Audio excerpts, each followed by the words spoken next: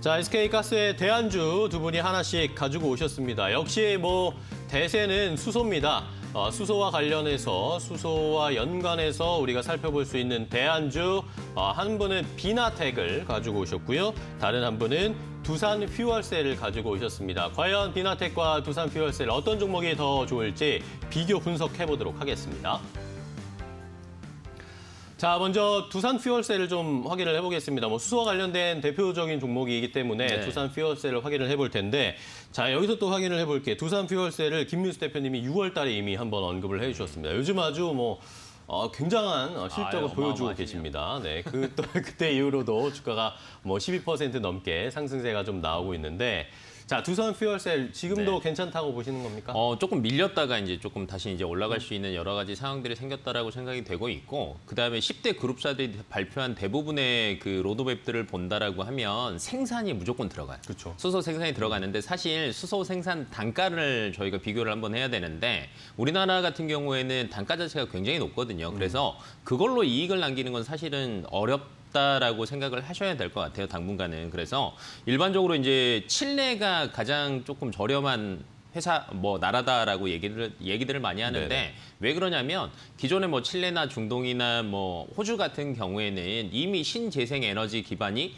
많이 갖춰져 있습니다. 그러다 보니까 단가가 많이 떨어졌어요. 그러면 이제 어. 저희가 투자 포인트를 봐야 될 거는 뭐 저희가 이제 둘 다 연료 전지 관련된 테마를 가지고 왔잖아요. 연료 전지나 아니면 수소 탱크나 암모니아 관련된 어 기업들을 위주로 한번 보시는 게 그래도 어. 주가 상승이나 탄력들이 조금 더 괜찮지 않을까라고 생각을 하고 있고 이제 두산 퓨얼셀을 가지고 온 이유는 이제 수소 경제 로드맵도 이제 정책도 어느 정도 뒷받침이 돼야 되는데 1.0대 나온 게 뭐였냐면 2040년까지 어, 내수 연료 전지 설치량을 8기가와트를 달성을 하겠다라고 얘기를 했거든요. 네네. 근데 그러 이걸 달성을 하려면 연평균 350에서 400메가와트를 설치를 해야 됩니다.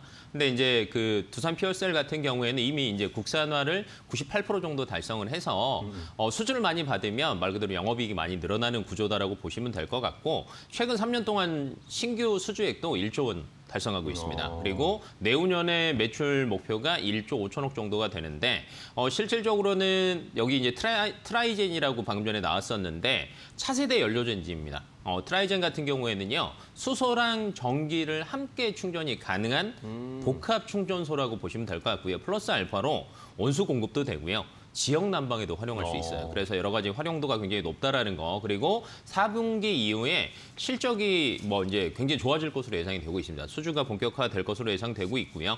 마지막으로 이제 대부분이 연료전지의 뭐 매출이 뭐 이렇게 몰리다 보니까 실질적으로는 조금 수주가 안 되면은 주가 자체가 안 좋았거든요. 그런데 최근 들어서는 뭐 수전의 설비나 선박용 연료전지 등에도 이렇게 사업 포트폴리오를 다변화하고 있어서 앞으로 그래도 4분기 이후에 조금 탄력을 받을 수 있는 게 조금 크지 않을까라고 예상을 하고 있습니다. 네, 좋습니다. 두산 퓨얼셀을 어, 가지고 오신 길건호 FC님의 설명을 잘 들어봤고, 자 그러면 두산 퓨얼셀을 6월에 한번 언급을 해주셨던 김민수 대표님의 의견도 좀 궁금합니다. 어, 그때 이후로도 여전히 좀 유효하다고 보세요? 네, 유효하고 지금 딱 보니까 또 눌림목이네요. 그러니까요. 네, 그러니까 크게 안 밀리는 자리라고 하게 되면 반전은 나올 수 있는 자리가 아닌가 싶기 때문에 그냥 예, 이 정도에서는 또 관심 있게 봐야 될 자리 같습니다. 네, 네. 좋습니다. 두산 퓨얼셀 김민수 대표님도 6월에 한번 언급을 해주셨는데 지금도 한번 눌림목 나온 찬스이기 때문에 어, 충분히 매수해 볼 만하다라는 그런 의견을 주셨고요. 자, 그러면 이번에는 김민수 대표님의 대안주를 볼 텐데 비나텍입니다. 비나텍 저는 좀 생소한데요. 네, 생소하시죠? 네. 수소 관련된 얘기만 나오면 다 생소합니다. 네. 어, 기술 얘기 나올 때마다 이게 뭔 얘기인가라고. 싶을 정도인데, 어, 그래서 비나텍은 코넥스 있다가 이전된 대표적인 아. 회사고요. 어, 근데 이 회사는 앞으로 성장에 대해서 상당히 기대가 높은데 딱 두 가지만 생각하시면 될 것 같습니다. 어, 예, 뭐죠? 네, 네, 첫 번째가 super capacity인데요. 네. 네. 어, capacity요? 네, 바, 발음을 잘 하셔야 될 것 같은데, 네. 그러니까 초고용량 capacity를 얘기를 하는 부분들인데 여기가 이제 친환경 에너지 저장 장치입니다. 근데 음. 이쪽이 어, 풍력 같은 경우도 보게 되면 스마트 미터기와 함께 같이 있어서 순간 출력을 이용해서 어, 이쪽에 그 컨트롤할 수 있는 그런 쪽에 어, 새로운 또 시장이 열린다라는 쪽에서 음. 풍력 관련된 쪽도 같이 연결이 되고 있고요. 그러다 보니까 또 이를 연결해서 뭐 데이터 센터나 자동차 전장 쪽, 뭐 무인 하- 운반 차량 쪽에서도 공급이 증가될 걸로 얘기를 하고 있는 상황들이고요. 어, 두 번째는 어, 수소 연료전지 핵심 부품인데 MEA라고 막 전극 접합체 이쪽은 많이 들어보셨을 겁니다. 네네. 이쪽에 대해서도 강점이 있는데 이 부분은 기술력이 상당히 올라오지 않으면 어, 어떤 대응 못하는 부분들이죠. 이쪽이 올해 어, 생산 능력이 2분기에 30만 장에서 내년에 1월 100만 장까지 증설할 걸로 보여지고 있는데 어. 어, 상대적으로 베트남 공장의 생산이 좀 차질되다 보니까 약간 우려감은 2분기에 좀 보여줬었는데 이런 부분들이 해소되기 시작하게 되면 여전히 성장성에 대한 기대는 높고 게다가 기술, 기술력도 갖추고 있기 때문에 이 부분은 계속 앞으로 부각을 받을 걸로 보여지고 있습니다. 네, 좋습니다. 자, 비나텍을 김민수 대표님은 이야기하셨는데 초고용량 슈퍼 캐파시티와 어, 또 풍력 쪽에서도 연관이 되고 수소 연료전지 핵심 부품도 만들고 있는 어, 코넥스에서 이전 상장한 종목이기 때문에 조금 생소하신 분들도 계실 것 같은데 김민수 대표님이 한번 잘 발굴을 해서 소개를 해 주셨습니다. 자, 그러면 가격 전략으로 또 바로 체크를 해봐야 되겠죠. 비나텍부터 좀 가격 전략을 체크해 볼 텐데 일단은 어제 또 한번 급등이 좀 나오고 비나텍이 어, 상승 추세를 좀 만들고 있네요. 네. 어제 또 장중에 이 정도면 되겠다 싶었는데 종가까지 쭉 올라와서 네. 그만 좀 올라라라고 네. 하는 마음이었었는데 안쓰러우셨나요? 네. 어, 어느 정도 좀 올라오다 보니까 어, 눌림목에서 반응은 나쁘진 않다고 생각되고 있습니다만 어, 이 부분이 직전 고점을 돌파해서 안착할 것인가에 대해서는 조금 더 어, 체크를 해야 될 것 같고요. 쪽에서 오늘 아무래도 어제 오른 여파 때문에 살짝 조정이 나올 가능성이 높기 때문에 어, 그 부분까지 생각하게 되면 어, 추격 매수보다는 5만 5천 대 밑에서 어, 대응한 전략 쪽에서 포커스를 맞춰야 될 것 같고요. 그런 쪽에서는 여전히 기술력과 특히 지금 어, 관련된 기술 쪽에서 그래도 알아주는 쪽은 어, 지금 비나텍과 상하프론테크 네. 두 회사이기 때문에 어, 이 부분에 대한 흐름 봤을 때는 여전히 성장성은 열려 있다는 쪽에서 목표가는 한 6만 5천 원대까지 어, 볼수 있는 상황들이고요. 손절가는 4만 9천 원대로 말씀드리겠습니다. 네, 좋습니다. 비나텍을 김민수 대표님이 소개를 해 주셨는데 요즘 김민수 대표님이 아주 뭐 컨디션 좋으십니다. 어제 한라도 예, 아, 예. 기억나시죠? 한라도 한번 소개해드렸는데 한라가 어제 거의 뭐 상한가 가려다가 말았습니다만 어, 좋은 흐름을 보여주고 계십니다. 비나텍도 한번 어, 기대를 해보자고요. 근 시일 내에 상승하는지 한번 보겠습니다. 자 다음은 두산 퓨얼셀 네. 길건 FC께서도 가격 전략 그때 목표가 얼마였어요? 할라요? 한라? 아니요. 네. 두산 피었어요. 아 두산 퓨얼셀 얼마 제시하셨어요? 비교해 볼까요? 목표가는 그때 그때마다 다른데요. 네. 어, 지금 기준으로 보게? 되면 한 6만 원은 가지 않을까 싶습니다. 네, 저도 6만 원은 가지 않을까 예상하고 있습니다. 네. 그럼 매수가는 지금 살짝 눌림목이라서 앞에서도 말씀을 해주셨는데 네. 4만 9천 원대에서 조금 반등하는 거 보시고 저는 들어가는 게 낫다라고 생각하고 있고 그 목표가는 그대로 유지하겠습니다. 6만 원. 그다음에 손절가는 하면 4만 6천 원 선으로 대응하시면은 저는 나쁘지 않다라고 생각하고 있습니다. 네, 좋습니다. 지난번에 김민수 대표님이 6만 원 얘기하셨어요. 예, 그때. 예, 기억하고 계시네요.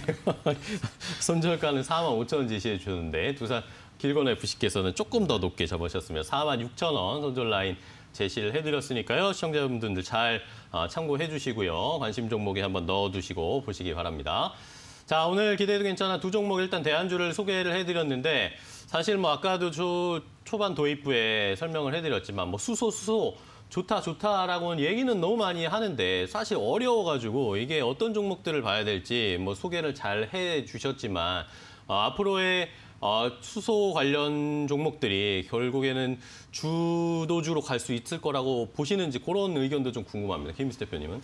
네, 이제 어떻게 보면 탄소 중립 계획이 글로벌 전반적으로 나오다 보니까 네. 국내 업체들도 전통 산업 중심으로 이쪽으로 가야 될 수밖에 없는 운명입니다. 음. 근데 물론 앞으로 그 눈에 보이지는 않는다고 하더라도 이쪽으로 전환해서 그만큼 탄소 중립을 떨어뜨릴 수밖에 없는 상황이라고 하게 되면 계속 준비를 해가겠죠. 그런 차원에서 보게 되면은 여전히 열린 기회라고는 보여지고 있는데 어 그럼에도 불구하고 이슈가 더 강하게 나오지 않으면 또 네. 주가도 약간 저춤하죠. 그러니까요. 그런 때를 노리면서 대응하는 게 맞겠다고 보여지고 있고 말씀드렸던 핵심 기술이 있느냐라는 음. 여부들을 확인하시면서 어, 그렇게 되면은 앞서 말씀드렸던 두 종목 같은 경우는 계속 언급이 될 수밖에 없겠다고 보여집니다. 네, 좋습니다. 일단은 뭐 많이 궁금하신 것들이 시청자분들도 뭐 예를 들면 2차 전지 같은 경우에도 2차 전지가 뭐 엄청난 경쟁력을 가질 것이다라고 했지만 사실 뭐 중국 쪽에서 막 일본 쪽에 싸게 만들어 버리면 막 이러면 이제 골치 아파지는 이야기들이 최근에 들리더라고요. 그런 거와 연관해서 수소는 어쨌든 계속 경쟁력을 가질 수 있을 것인가. 어, 계속 이제 경쟁을 할 수밖에 없는 구조라고 보여지고 있고요. 그러니까 어느 정도 이게 뭐, 뭐 탑티어가 가려진 데, 가려지는 데까지는 분명히 시간이 걸릴 거고요. 그냥 이런 모멘텀으로 보시는 게 좋을 것 같아요. 이제 신재생 에너지 비중을 계속 늘리고 있잖아요. 네네. 그러다 보면 태양이든 풍력이든 지열이든 열심히 뭔가를 만들기는 할 건데 얘네들을 저장을 해야 돼요. 왜냐하면 바로바로 소모가 안 될 수도 있기 때문에 그러다 보면 뭐 ESS나 아니면 수소로 저장을 하는 게 사실은 굉장히 효율적이거든요. 그래서 수소 자체가 앞으로 조금 갈 수밖에 없고 앞에서도 얘기를 했지만 이걸 생산하는 거에 포커스보다는 저장을 하는 뭐 탱크나 아니면 이걸 활용한 연료전지나 이쪽으로 포커스를 맞춰보는 게 지금 당장 뭐 주가가 오르는데 가장 큰 뭐 영향을 많이 받지 않을까라고 예상을 하고 있습니다. 네, 좋습니다. 뭐 전문가들 저도 뭐 다른 방송에서 다 여쭤보고 질문을 들어보면 결국에는 저장하는 기술 이런 쪽으로 좀 집중을 해보는 게 좋겠다라는 말씀들을 많이 하시더라고요. 시청자분들도 한번 잘 그런 종목들을 잘 체크하시고 살펴보셔야 되겠다라는 것까지 이야기를 해드렸습니다. 자 오늘 SK가스의 대안주 수소 연료전지와 연관돼 있는 비나텍과 두산 퓨얼셀 소개해드렸습니다. 자, 오늘 두 분과 함께 오늘 기대해도 괜찮아 확인해봤습니다. 좋은 종목 소개해 주셔서 감사하고요. 다음 시간에 또 뵙도록 하겠습니다. 고생 많으셨습니다. 고맙습니다.